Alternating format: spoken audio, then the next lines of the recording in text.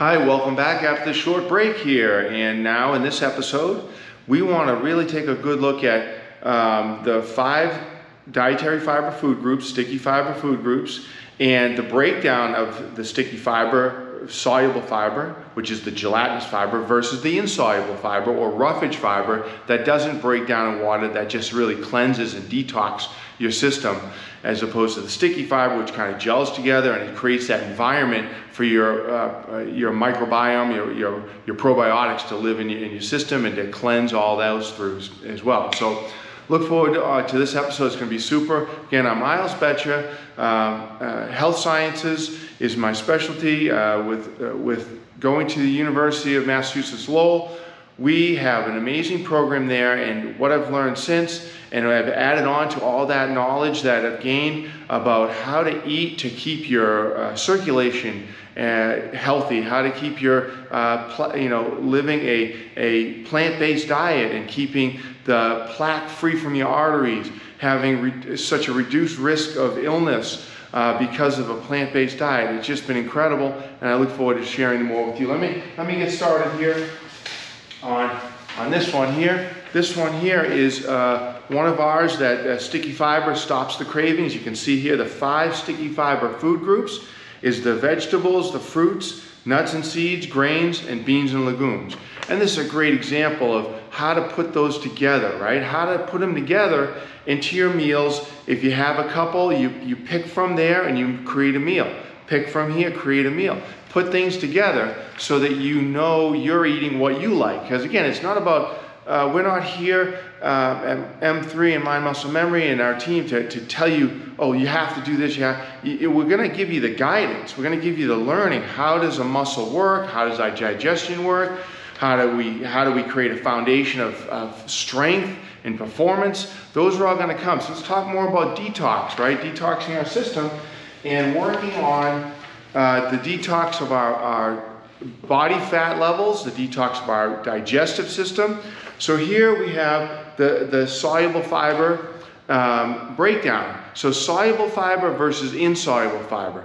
And each food group is here, right? And on those food groups, it breaks down the serving size and the um, uh, amount of soluble versus and insoluble fiber in that serving size. So we made it a little bit simpler for you so you can transfer this over as you're creating your meals to your, your, your food journal, okay?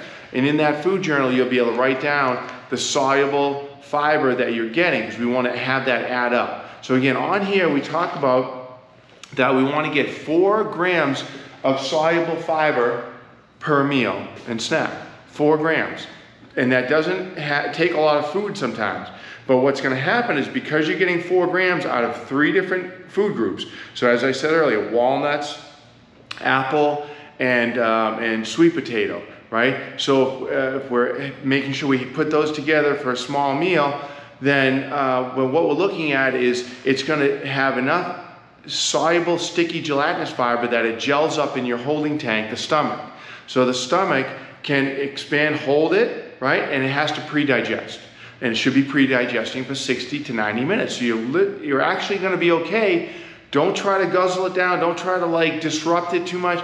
You don't need to push that down. You actually need to let it sit there and let yourself relax, chill. So be thankful that you just had such a nice combination of nutrition and, and actually plant-based foods that you are able to then sustain your digestion, sustain your output of your muscles and replenish your body and, and, and work through that. So as we have that meal, we've taken the three different food groups, have four grams of sticky fiber, soluble fiber in combination, and it's, it's gonna be part of your detox, right? So in order to get your body fat levels down, you have to then make sure as you follow your meal journal in the program is to Monday, Tuesday, you're reducing the calories to 65%, the active male 1855 and the active female 1430 calories.